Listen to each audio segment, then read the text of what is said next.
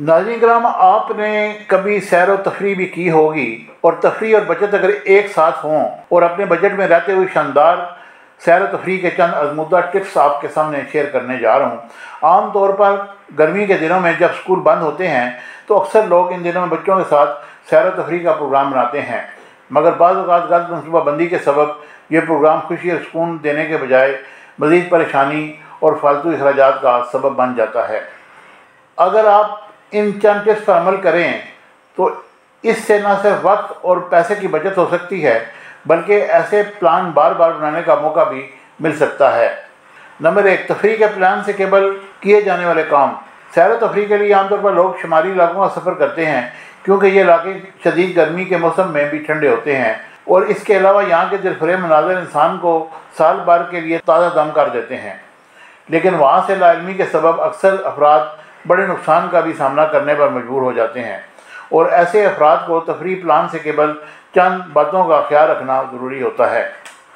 तफरी के लिए जाने से केवल इस जगह तक जाने के रास्ते का तयन अगर आप तफरी के लिए किसी ऐसे इलाके में जा रहे हैं, जहाँ इससे केवल नहीं गए तो सबसे पहले वहाँ तक पहुँचने के लिए रास्ते का इंतखब करें और वहाँ तक पहुँचने के लिए बेहतरीन रूट का तयन करें और इसके साथ साथ वहाँ तक के सफ़र के लिए ट्रांसपोर्ट के ज़रिए मालूम हासिल करें।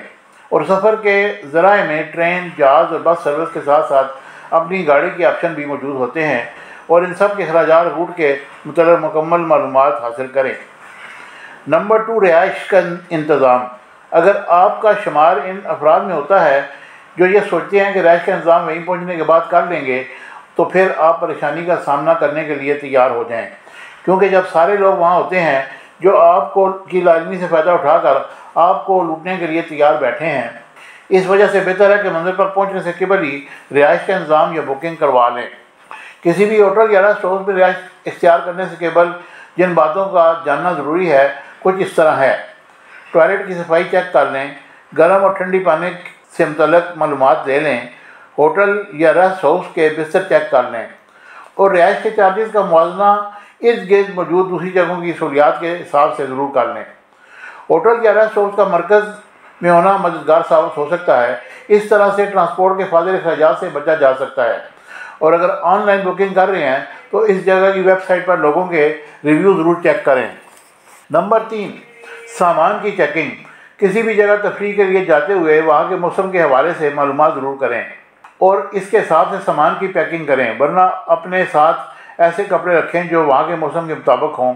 इसके अलावा पहाड़ी इलाकों में सफ़र के लिए आरामदेह जूते रखें, जिनके साथ आराम से वॉक की जा सके। गैर आरामदेह जूते सारी तफरी का मज़ा किरकिरा कर देते हैं। और सियाती मुकाम पर पहुँच कर ऐसी चीज़ों का इंतज़ाम करना महँगा सौदा हो सकता है। नंबर चार, कीमती सामान की हिफाजत का इंतज़ाम। अपने कीमती सामान और पैसों की हिफाजत करना बहुत ज़रूरी है, क्योंकि इनको होने वाले नुकसान आपकी तफरी के लिए मूड को ख़राब करने का सबब बन सकता है। इसलिए अपनी रकम को बैंक में रख कर ऑनलाइन अदायगी शुरू कर ताकि हर जगह ये सहूलत ना हो सकने की वजह से अपने पास कुछ ना कुछ कैश ज़रूर रखें। कीमती सामान जैसे कैमरे और मोबाइल वगैरह किसी को या बैग में रखें, ताकि मौसमी असरा से महफूज रह सकें। नंबर पाँच, खाने पीने में एहतियात। तफरी इस वक्त तक कामयाब हो सकती है, जब तक से बेहतर हालत में हो। इस वजह से किसी भी नई जगह पर खाने पीने से केवल वहाँ हिफान सेहत के असूलों का जायज़ा ज़रूर ले लिया करें। इसके अलावा खाना जितना भी लजीज हो, बहुत पेट भर कर खाने से इजतनाब करें। ये थी वो इन्फॉर्मेटिव चीज़ें जो आपके सामने मैंने शेयर की। उम्मीद है कि मेरी वीडियो आपको पसंद आएगी और हमेशा की तरह चैनल को लाइक शेयर और सब्सक्राइब करना ना भूलिएगा और बेल आइकन को भी दबा दें। Thank you very much